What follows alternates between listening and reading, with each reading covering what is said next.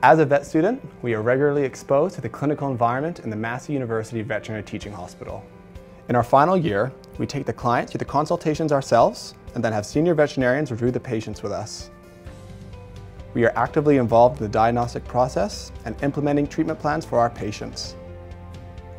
Our Pet Emergency Center and Intensive Care Units were purpose-built to provide critical care treatment for animals.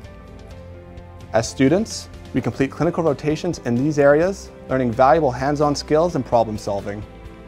The Massey Vet Teaching Hospital is a great place to learn from experienced, highly qualified general and specialist veterinarians.